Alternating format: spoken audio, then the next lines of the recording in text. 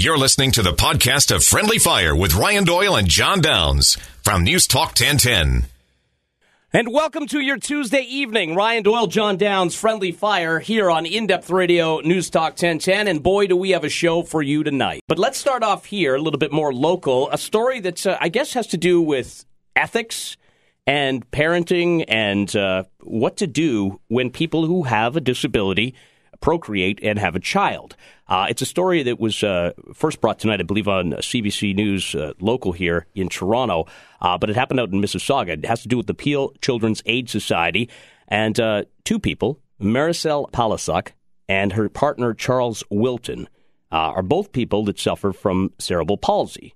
Now, that limits their motor skills, it slurs their speech, but it has no effect on their cognitive abilities, meaning all their, their brain faculties are fine.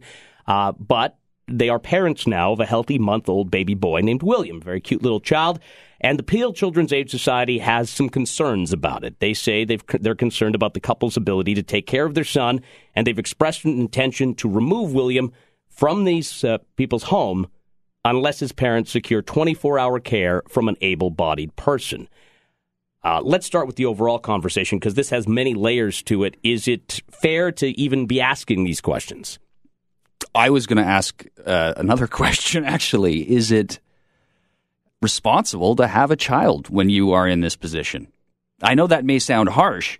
Uh, I thought you were the left-leaning, compassionate guy. Well, I, I am. Uh, if you're going to play mean-hearted I've, I've bastard, I'll go home. I'm also a pragmatic person as well, uh, and they acknowledge. They say we know we need help, and right now the only help they're getting is through this caregiver, uh, and it's coming pro bono right now. So when it comes down to it, if you can't do the necessary duties associated with childcare, are you in any position to be raising a child? Well, then that becomes a very slippery slope. And I think that you have to, and I hate that expression because it makes me sound 80, but it's the truth. Uh, you have to look at it and say, well, how many people aren't capable of fully caring for a child? You know, do, we, do we say to single moms because you don't have another partner, another person in the house, uh, you're not capable of raising a child? Yeah, it's weird. I saw this guy on uh, in the subway today on my way up here, uh, and he was probably a little younger than we are, um, and he didn't look like he was very well off. Uh, just you know, I'm, I was judging a book by its cover, but you're on the subway. That's what you do. And he had about a three year old kid with him, and you know, you and I think about the future and our first kid and when we feel not, we're going to be there. Just for the record, well, uh, you don't rule anything out. what I'm saying is you want to make sure you're in a position to be able to support a child financially, emotionally, support each other sure. financially and emotionally uh, as you go through. This is a big deal. Um, and I kind of worry that with some people, and this is not a criticism of them, but I have to ask the question with some people, I think they view having a child as an entitlement. Do you think it should be seen as an entitlement, or do you really think you should feel that you are in a position in every respect to be ready to have a child and care for a child? I think you can only be as ready as you can be. And I know that sounds kind of odd and cliche, but let me explain it a little bit. Uh, if you're in love with one another, you have a roof over your head, uh, you have the ability to provide as far as food and sustenance for that child, I think you have every right to have a kid. I, I, would never take that right away from somebody. So I think maybe the definition of entitlement is a little skewed. I think that yes, if you have, I mean, if you're homeless and you're on the streets, I don't think you should be having a kid. But if you have a home, and these people do have a home, and the only thing really holding you back are limits to your motor skills and slurs in your speech, then, and your all, all your cognitive faculties are working, then what's the issue here? I mean, if these people can think and operate, and I, I believe one of the, the the man in this this couple, and we're going to find out more in a few minutes' time, but the man the man in this couple uh, is also a Paralympian, so obviously he's he's with it. Then I don't see what the issue is here. I mean, we're not talking about somebody who's abusing their kids. This is a loving couple, a loving home. They have every right to have a kid. Sometimes that's not enough, though. I, I mean, again, I don't know. I, I, don't have a full grasp on what the situation is with these parents, but can they get up in the middle of the night for a feeding or for uh, a changing? Um, you know, is this child going to get the necessary care uh, that they deserve from these parents. And if they say we can't afford a caregiver, but we're getting by right now with a, a free caregiver, you can't say that's a surprise all of a sudden. that So are you saying though, John, that the state has a right to knock on your door because you have cerebral palsy and take your child away? I think the state has a right, and this is where you have to be very careful, is you have to evaluate the situation very carefully. But the state has a duty to ensure that every child is being looked after adequately. Yeah, but There's that's, one thing. okay, but that that's one thing. But then to cross that line and come to the point where you're, you're basically, I think threatening would be a, a a word to use here. The threatening to take a kid, uh, somebody's kid away. I I think that you know it's one thing to say you're looking after the kid, you're monitoring the situation. It's a whole other thing to say this kid needs to be taken away. neglect is neglect, whether it's intentional or not. If the child's needs are not being met, then definitely the state should take over. Now, if the child's needs are being met, um, I don't care if they have a CP, then fine. Uh, the child is in, is in good hands. But I'm hearing a message here that yes, we need assistance and we can't afford any further assistance. So why would you do that? Why would you put yourself in a position where you couldn't get by if it was just the two of you? Okay, and again, sometimes people have sex and babies come out. Uh, that, from what I'm told, that's the way it works. And sometimes it happens in a, a way that you might not have intended it for it to happen. But I'm not going to line up behind anybody and say that people who have cerebral palsy should be going out and getting abortions. Well, or that the state should force them to. It or doesn't always happen that two people with CP get together, but uh, if you're going to look at your financial situation and decide we're ready or we're not to have a child, then why wouldn't you look at all the other factors If that are that required were to the raise case, a child? then you would have so many people's kids taken away by children's aid, your head would spin. Don't there you, don't you so think there are so people- many kids out there whose kids should be taken away from them because they're not providing a necessary or adequate care? Yeah, but I've also seen families that have had a kid when they maybe didn't have as much means and they've grown those means over time and the kid was well looked after. So it can happen all ways, I think. We'll come back because I want to talk about how far the state should really go here. And a lot of people, of course, are also. Uh, calling in already. It's a, it's a tough one. I know it's a tough one tonight to start your Tuesday, but put your brains to it. You can text us at 71010. Give us a call at Star Talk, star 8255. You can also email the show, friendlyfire at astral.com. Also at 725 tonight, you're going to meet somebody who's gone into his own pocket to help this family out. It's Ryan Doyle, John Downs, In Depth Radio, News Talk 1010. In Depth Radio, News Talk 1010, Ryan Doyle, John Downs here on Friendly Fire. You can also listen to the show online at newstalk1010.com. Uh, somebody writes via text message, what the hell gives you the right to decide who deserves to keep their kids, John? So you I want to answer that one right out of the chute? I'm not Children's Aid Society um, or the Catholic Children's Aid Society. So, no, I don't have the right. But the state has a duty to ensure that kids are being looked after. Do they need to take over in this particular case with these two uh, parents who both have uh, cerebral palsy? That I don't know. But it seems that one of the parents is acknowledging that they need help. Currently, they're getting it for free. So, are they able to look after a child if they can't afford help? All right, well, here's the other question then. And this is going to affect everybody who's listening because you're all taxpayers, I'm assuming, hopefully. Uh, is there a, an, a cause, perhaps, to go to the taxpayer and say, you should be paying for this? That this should be picked up somehow by by taxpayers' costs. And we're looking about two thousand dollars what a week uh, to have a, ta- a caregiver in their house twenty four hours. Uh, should people be paying for this as part of uh, maybe the healthcare system? I know it's already overburdened, but the question has to be asked: Should the family be expected to pay for it, or uh, should it come to the government and the, and the taxpayer? And that's where we land on your slippery slope. Right. Um, wow, really switched places on this one today. Uh, if you do that, then you are saying that people who are not in a position to be having children should be assisted by taxpayers to do so. If people want to do that, that's going to come at a cost. Um, you could make a special exemption for um, people who are disabled. Do you draw the line at people who just don't have the cash to be having kids? Well, that's the thing. I mean, I don't know how far you go with that, but because the other side of the coin, if you tell these two people that live in Mississauga that they have, because they have cerebral palsy, they can't keep their child, then you're basically penalizing them. So we're now penalizing the disabled for procreating. But did they not I mean, how put- far do you take that? Do you then tell the disabled that you just can't procreate? No, but if they were on their own, um, they wouldn't be able to care for the child. Uh, you know, you could ask the question: Have they put the state in a position where it has an obligation to care, to pay, to care for the child? uh, because I don't think it's fair to take the kid away from the children, or the, sorry, the uh, the parents from the parents. Yep. uh, I also don't think it's fair for people, and I'm not saying that's them in this situation necessarily, but for people who are not equipped to have children, to put a state in a position where you have an obligation to pay, pick up the bill. Trish, go ahead.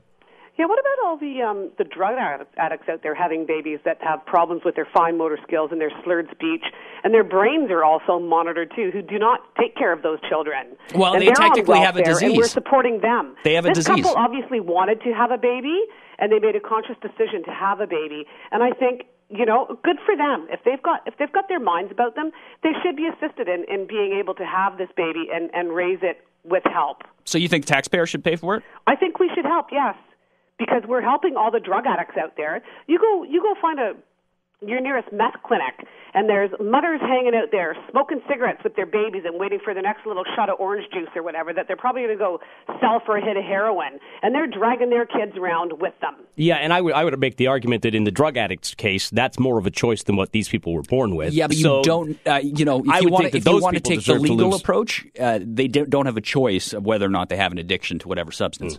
Tell it to the judge. Jesse, go ahead. John, John, John. You know what? My mother was in a wheelchair. Does that mean that me and my two brothers actually were taken away for two years? Now that I think back, my children say they had to fight like hell to get them back. But you know, that being said, uh, where do I join up to help these people out? I'll contribute. You know, I don't make much, but I'll commit. Uh, I'll sign. I'll commit to giving them a couple of bucks every week. And if some more people step up, they're entitled to keep their kid. And you know what, John? I'm I'm really shocked. It's okay for Premier Dad to uh, provide all day uh, uh, daycare. I mean kindergarten for a couple of million uh, saps and mooches in Ontario, but we can't help this one couple out. But where does You know, it you know stop? what? You truly are a stiff. Where does it? Where does it stop? You know, well, you know what? Well, where does it stop? Why do I have to pay for all day kindergarten? Well, we're talking about setting a precedent. You realize that? What- You know, so we set a precedent. We got one couple, and we set the president, John. Precedent, John. You know, like I said, my mother was in a wheelchair. We were taken away for almost two years. Me Was that the wrong decision? Brothers. Uh, and you know what? And my parents were wonderful parents. And you know what? Just because she was in a wheelchair, they deemed her incapable of looking after us while my dad was at work. So you know what? I've walked in this couple's shoes. Uh, I, I, I, I know what it's about. So you know, where's our compassion society if we can't help Well, somebody else? and not that You I'm know, not that I'm looking to, listen, to, to listen, provide the counter argument. Hold on, Jesse. Not that I'm looking to provide the counter argument here, but you are in effect, and I don't think you're saying let's rip parents away from their kids. I think what No, you're I'm saying saying we is have to make a decision. Well, I think what you're saying is let's make sure the kid's okay. Well, that, that ultimately that's what it comes down to. But if you're going to set a precedent, we've got to know what that precedent is. I just find it really funny that uh, I, I talk about compassion quite a bit on this program, uh, and compassion actually plays into what role the government decides it's going to take. I just want to establish that now. And if taxpayers want to be part of this discussion without being saps, then go ahead. Well, we're Star meet- talk star eight two five five seven ten ten. We're going to talk to the guy who is actually taking care of well, I, I guess the child and helping to raise this child at this point. But how long can he do that for? You're listening to In Depth Radio News Talk ten ten. If you want to interact with the show, text us at 71010. Give us a call at Star Talk, star 8255. You can also email the show, friendlyfire at astral.com. We're talking about a, uh couple out in the West End in the Mississauga area. Maricyl Palisoc and her partner, Charles Wilton. They are parents of a healthy month old baby boy named William. Uh, both of them, however, have cerebral palsy, which limits their motor skills and slurs their speech. And now the Peel's Children's Aid Society is concerned about their ability to take care of their son, so much so that they've expressed an intention to remove the child from mom and dad. Now, before we go any further, and we talk to our, our guest who's been uh, helping the family uh, through all of this, we're getting a lot of text messages directed towards you. Yeah, I'm, I'm actually really not happy about this, Well, Ryan. I- and I I- want, well, I let me want just- can to I just- call. uh, if you're, no, give me a sec. All right. If you're one of the people hiding behind your cell phone right now, calling me an idiot, calling me heartless, uh, calling what else am I getting here? well, there's been Uh, a lot of it. There, there's been a lot of it, and I'm asking a question. Well, I think you're asking a question, and I think your intentions might be uh, not as apparent as as they probably No. should be. What what you're concerned about is the well being of this child, and, and you're asking a question as to we're all concerned about the, the well-being of this kid, Yeah. and there's no question about that. and I don't think that makes you heartless in any way. No, and the the point is by making a decision on this case, Children's Aid and ultimately it's going to be up to uh, the provincial government will be setting a precedent. They will be setting a pace going forward, saying with this kind of case, the taxpayer is going to pick up the bill. And what I find so ironic about this, and such the amount of vitriol being directed at me right now, is uh, the same people who are calling me heartless are the people who call me a communist, a bleeding heart, and all the other terms for some pathetic sap. So let's let's figure out what your approach is. If you are compassionate and you've got half a brain in your head, then I think you probably know I'm not a heartless uh, human being. Yeah, and I, I, wouldn't describe you as heartless. I would no. call you other names, but not heartless. I wouldn't say heartless. Uh, Ryan Machette is the program coordinator for the Coalition for Persons with Disabilities, and uh, one of the individuals uh, very familiar with this case. Uh, first off, Ryan, I guess the, the, question a lot of people want to know is how able are uh, Maricyl and Charles uh, when it comes to taking care of their kid? Uh, it's a good question. They're they're very able, actually. It's um it, and and he nailed it. It's it's it's very much uh, uh, a fine motor skill, and uh, and the speech is uh, is somewhat impaired. So it's it's very difficult, I think, for some people that don't know the speech patterns and that don't really know them personally, to to pick up on that. And I think that that's where sort of the misconception of whether or not they're actually able to uh, to care for the, the child comes in because sometimes if you're if you're new to chatting with them, it's a little bit difficult to understand them. But they're very intelligent. They're very much with it, and, and there's no cognitive disability there whatsoever. Um, the uh, the physical aspect of it, uh, you know, Marisol and Charlie are able to to change the baby. Marisol is breastfeeding. Um, you know, the, the necessities of life are definitely being taken care of. So, what is it you're doing? What kind of services are you providing them, or some kind of assistance? Well, when we got the call, we've known. I mean, Marisol's been a part of the coalition um, for about 12 years. I've known her for five, and uh, so we got involved because she's very, very, very close with our executive director, and so she called uh, Linda and and basically just said, you know, this is what's happening. CAS is involved. You know, uh, what what can I do? And uh, so what we said was, okay, well, we'll we'll get a plan in place and we'll we'll figure things out. So whether it's you know if it's a matter of, of putting in care or whatever the case may be. So Maricyl actually delivered two weeks early. So our our time frame of two weeks to try to figure a plan shrunk significantly to 24 hours. so we. Uh, so what I've done is um, uh, I've hired uh, a company called Bayshore to go in to provide 24-hour care as per CAS's um, mandate in order to release the child into their care to go home. So that was in order to get them home. We were going to buy three weeks of attendant care in order to uh, to come up with a, a long-term plan. So, what is it exactly they're doing, though? Uh, what is that uh, attendant service? doing? Yeah, yeah. So, it, what they're doing is it's it's it, what what CAS wanted, and and and again, I mean, I just wanted to to go on and just say that that CAS uh, does a, a fantastic job. They they have a very very very difficult job. Um, I couldn't imagine doing their job, um, and I, I couldn't. I, I I couldn't imagine the feeling of thinking that you let one slip by and I think that's sort of maybe the area in which they're sort of operating this whole case on. But I mean, I think uh, I think that what they wanted and what they were telling us that they wanted was they wanted an able-bodied person, and that's where this whole thing is really sort of spiraling out of control. Is that the, the definition of an able-bodied person in their eyes is you know a, a PSW, a personal support worker, or it's it's it's a you know anybody that doesn't have a disability. But one in six Canadians has a disability. So when we put together the plan, we actually had somebody that was willing to take on a much larger role in the in that uh, you know in the in the first few weeks of of uh, of life of William of the baby, and we were told that that wasn't acceptable because the person had diabetes. so there's there's a you know there's there's a huge disconnect between the term of of able versus disabled. Ryan, I want to hold you there. If you're okay, we're yeah. just going to take a quick couple minute break yeah, here, but I want to come back and, and continue this conversation. Ryan Machette, our guest, program coordinator for the Coalition for Persons with Disabilities. We're talking about a couple in Mississauga. They both have cerebral palsy. Uh, it affects their motor skills and their slurs their speech, but their cognitive abilities are fine. They have a month old baby boy, and the Peel Children's Aid Society is concerned about that and has expressed the intention uh, to remove the child from the home. We'll come back, talk to him a little further. A lot of people still want to interact. We'll give you an opportunity to do that as well. You can text us at 71010. Give us a call, Star Talk, star 8255. Ryan Doyle, John Downs, In Depth Radio, News Talk 1010. locally. Maricyl Palisoc, her partner Charles Wilton, parents of a healthy month old baby boy named William out in Mississauga. Uh, the issue, though, is that they've got cerebral palsy. The Peel Children's Aid Society uh, isn't enthused about the idea of ra- them raising the child and has expressed an intention to remove William from the house. Ryan Machette, uh, program coordinator for the Coalition for Persons with Disabilities, we were talking with you uh, just before the break. Uh, how serious is the, the Children's Aid Society, you think, in your mind, about removing this kid? Oh, very.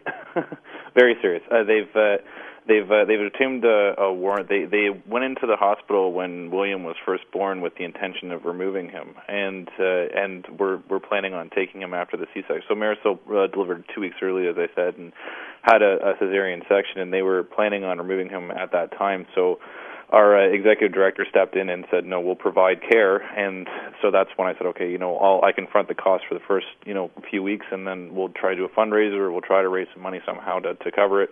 We just need three weeks to to sort of get a, a long term plan together that they'll that they'll accept and uh, and that's been a real struggle too is trying to to get a plan that they'll agree on so we we're, we have a meeting on friday to really sort of try to give a, a finalized plan on what that's going to look like so so, what is more the more kind of uh, long term plan here? Uh, do either of them have jobs, and, and are they going back, or, or what's the situation there?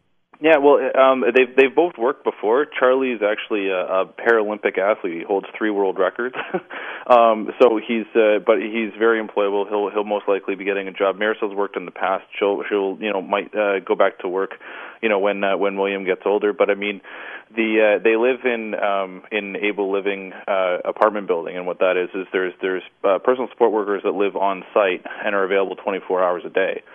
So what what the the plan sort of was or originally was to have um, the care that they get anyway uh, Monday to Sunday um, from 5 p.m. to 11 p.m. and then uh, Able Living was going to then offer to run their night crew out of their out of their apartment from 11 p.m. to uh, 8 a.m. So we would only have to cover between 8 and 5. So that's more or less what we're we're proposing. And then you know I've been getting email after email. All right, email Ryan, this sounds yeah. a little asinine. Then I mean, if there are already care, caregivers on site that can help out and take care of, I mean, this this shouldn't be something for Children's Aid. And I know you've got respect for them. You and I may be different opinions there, uh, but but I mean, they shouldn't be jumping in and snatching this kid away. There's already a, a real amicable way of solving sure. this. It just seems like they want to do do more with their time than than they really should yeah. be doing at Children's Aid. Yeah, and and you know what I mean. It's it's it's about perception, right? It's it's it's the perception of of of what that disability means. It's their perception. Uh, you know, it's it's wrong. I mean, it's it's a it's a perception that is is incorrect of of what the the ability to provide care for for this this child is, and I mean, it, we we have put forth, you know, a, a pretty solid plan in my opinion, and and I mean, you know, CAS is is you know it, they they really have to make sure they have everything covered, and I respect that. But I think that we've we've really sort of proven that not only are they capable parents, but there's also enough support, you know, within you know just a phone call. I mean, there there's 24 hours, seven days a week support just in the same building. That's that's something that most people don't have. Period. so so mean? is is there anything else that they're claiming uh, in terms of what is an impediment to this child getting the proper care, uh, ter- or is it just a matter of it's, you're it's you're both disabled? It's, it's disability. It's, That's what they say. plain and simple disability. If if if Marisol had cerebral palsy and Charlie didn't, we wouldn't be having this conversation. Well, and I, I believe that, but you know what I mean. But they're not citing any specific cases or, or issues. Right, and, and there's really no, there's really no. This would this would be a pretty serious precedent, and one of you was touching on it earlier. Mm-hmm. And, and I mean, it's there's no what I'd like to ask them. I mean, you know, we're we're still very much in in sort of the talks, and I mean, it's been very friendly in in the meetings that we've been having with them. But it's it's a matter of I would like to know what what list they're going off of to say you know, here's a list of all the able-bodied people. These, this is a list of all the people that aren't able-bodied. And then, what what are you saying about those people? You know, are we going to start taking away the the kids of people with MS? Are we going to start taking away kids, you know, from people that that are, you know, quadriplegic? You know what I mean? These, yeah, today it, it really today starts a, a, a very dangerous. Yeah, it's it's yeah. a very it's a very dangerous precedent what they're trying to set, and and it's gonna it's gonna really backfire because you're gonna have you're gonna have 15 percent of the population saying, "Hold on a second, are you saying that I'm not allowed to have kids?" But just to be clear, you're saying that these two parents could care for their child just as well, if not better, than two able-bodied people. I believe that they need to be given the chance.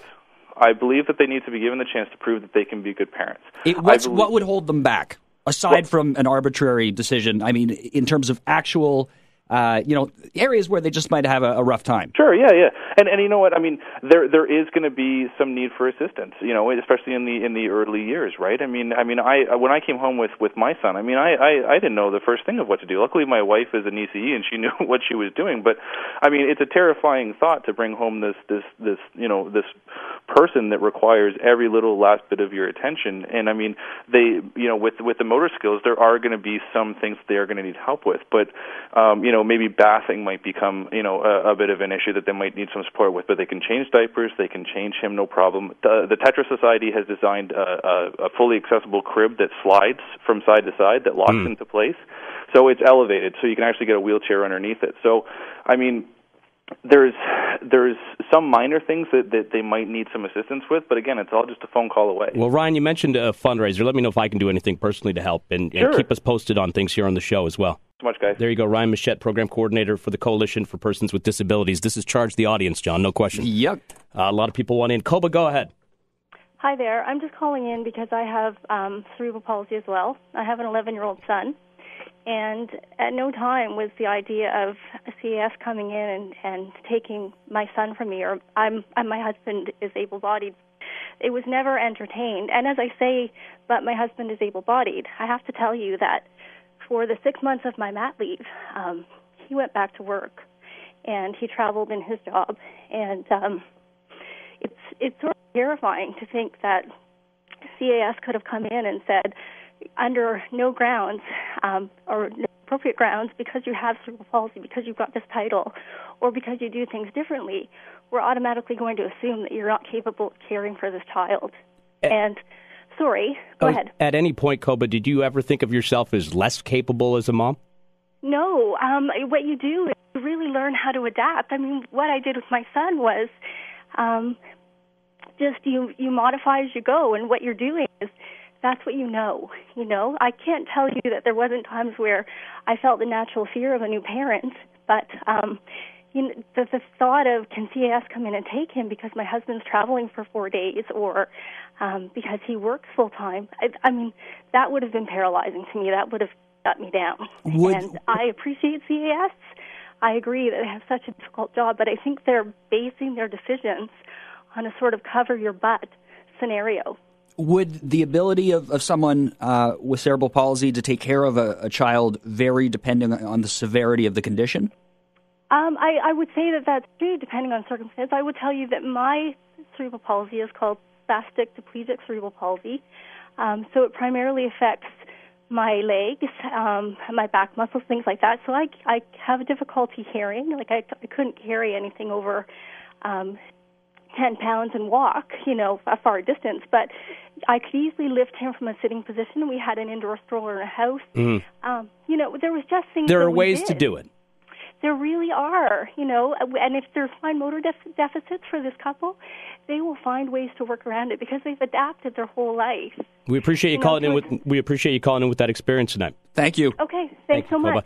Uh, we'll come back to on. A lot of people want to interact. We'll give everybody an opportunity. You can text us at seven ten ten. Give us a call at Star Talk Star eight two five five. But I'm going to guess uh, you bring the baby home you've got a newborn in your arms and you hear that knock at the door and it's the Children's Aid Society looking to take your kid away, that's got to be unnerving for anybody. Well, the other obvious question here is, you know, is CAS qualified to be making a decision as to whether or not a couple can actually care for their child or are they just going to base it on, well, you both have a disability and that's enough to, for us to take it away? We'll come back. It's Friendly Fire. Ryan Doyle, John Downs, In Depth Radio, News Talk 1010.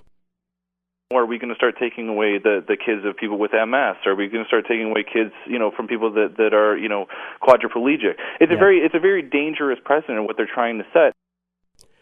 In depth radio, News Talk 1010, Ryan Doyle, John Downs, Friendly Fire here on uh, News Talk 1010. That was the voice of Ryan Machette, uh, a guy who is a, uh, a, disabilities advocate coalition for persons with disabilities, a guy who has met this couple that has cerebral palsy uh, in Mississauga and they're raising a healthy month old baby boy, but the CAS, Children's Aid Society, doesn't seem to like the idea of them continuing to do so and has insisted that they get some sort of 24 hour care from an able bodied person. But as we learned, John, uh, throughout the course of that interview, there are already people at this facility that they live in that are there to help them.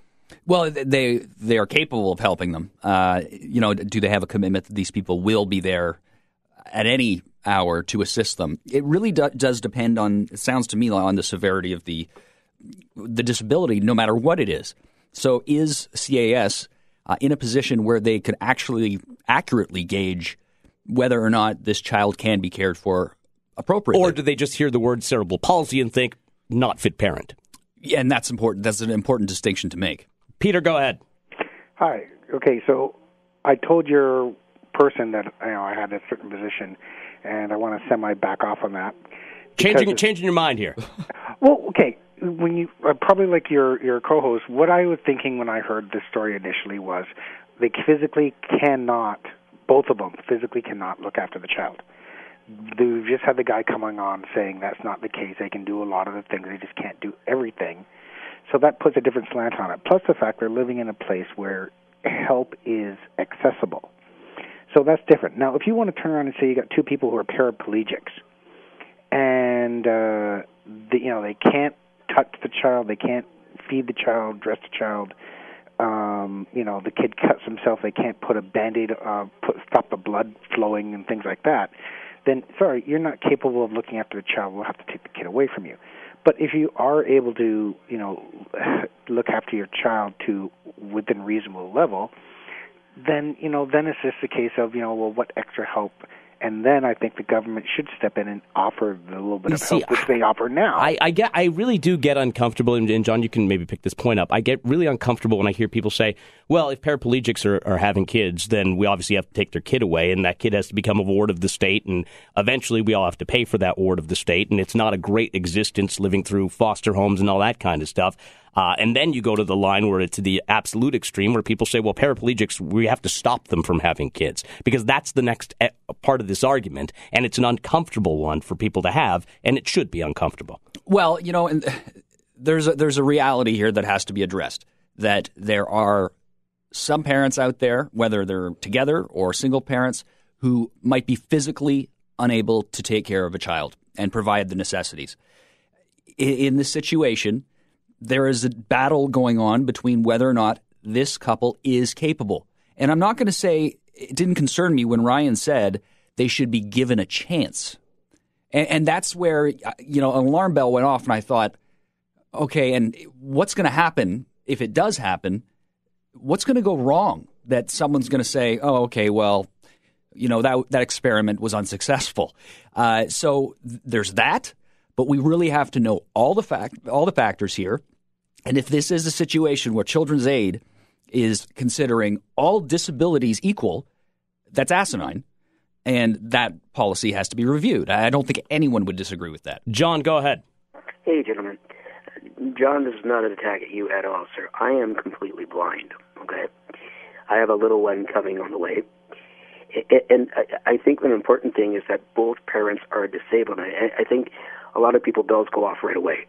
I, I've known couples that are that were both blind, for example, that have had children, and, and you guys have to understand that there are adaptive methods to that. I- I'm not going to go through this argument because I I, I think it's if it's dangerous to the child, I don't care if you're disabled or not, the child should be taken away, right? I mean, I think we can all agree on that, right? Uh, if you're a fit parent, if you're not, if there's a problem, children's service come in. But so far, they're being preemptive. They're making a decision run by a bureaucrat and make it enforcing a decision. I think that's the problem. Okay? But doesn't it have to be preemptive? Because the other option is wait and see.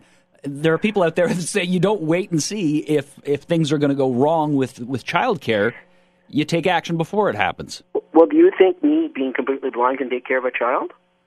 Uh, well, I'm not in a position to make that call, and Yeah, that's what concerns me. can't, Yeah, I know, but but listen, guys. I mean, I've got four degrees plus a master's. I've owned two companies, international companies. I've sold them. Okay. Yeah. I'm I'm completely 100% blind.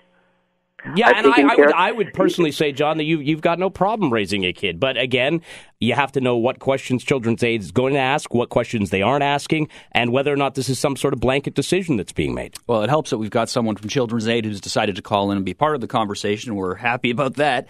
And we're happy if you do the same. Star Talk, star 8255 71010. If you want to text us, you could also email us, friendlyfire at astral.com. Ryan Doyle, John Downs, you're listening to In Depth Radio, News Talk 1010. In Depth Radio, News Talk 1010, Ryan Doyle, John Downs here on Friendly Fire. We're talking tonight, uh, and after 7, 8 o'clock, rather, we'll be talking a little bit about your kids going to school year round. We'll address that in just a few minutes. Right now, though, a story that's caught a lot of people's attention this evening uh, has to do with parents out in Mississauga that have cerebral palsy. It was first brought to you by the CBC this evening, and uh, we're picking up on it tonight because I think it's an important story to get out there. Uh, they have a one month old baby boy, but the Children's Aid Society has said, we don't trust that you're able to take care of that kid 24 hours. So you're going to need to get a care worker, uh, an able bodied care worker, or we're going to take your kid away. Yeah, and uh, I'd really like to know, you know, whether or not Children's Aid is, if their workers or their caseworkers are equipped or skilled enough to be able to tell what kind of disabilities constitute unable to take care of a child. Dominic works for Children's Aid, and he has uh, decided to call in tonight. Uh, Dominic, how routine is this? How, how quickly do Children's Aid decide to take away, away a kid? You know, Ryan, I believe, and I joined the conversation late, but it appears to me that we're providing a simplistic response, possibly to a very complex situation. I've got to start with by saying is that our first mandate is to maintain children within their own homes and provide them with the supports that are required for the child to remain with there. The question you asked, Ryan, is whether or not we unilaterally make decisions to remove children. Absolutely not. We're not the experts. In order to make decisions potentially around this case and other cases, we look to those that have the expertise, whether it be whether it be uh, uh, individuals within the CP field, whether it be medical, etc., to help us make that decision because we're not the experts. Are you? uh, Do you think uh, a better safe than sorry approach is usually taken? No, no. I think you make the most informed decisions based on the evidence that exists.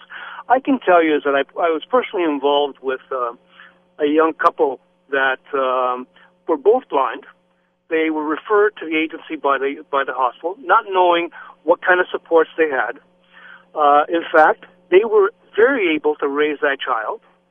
Didn't have to come out. We did not have to be involved. It was just simply a question of is there going to be enough supports for them to be able to manage if they require it. So in essence, let's say for an instance also, and I don't expect this to happen, but I don't know all the details. If the agency were to apprehend this child, for whatever reason, they have to be accountable to a court within five days that they made the decision based on this evidence that would would um, would uh, place the child at risk. So it's not a whimsical decision, but rather um, a more comprehensive decision. Well, yeah, and, and Dominic, why- Dominic, from what it, it sounds like you're telling us, and I have no reason to doubt you, that there are some checks and balances on the back end of things. I would expect there to be. You know, it, it, this all comes down to whether or not you want to see CAS as the big bad baby stealers. I, I think it is more complicated than that. When we come back after 8 o'clock, uh, I'm going to steal your kid's summer. We're going to do that, That next. sounds like you. It's Friendly Fire, Ryan Doyle, John Downs, In Depth Radio, News Talk 1010.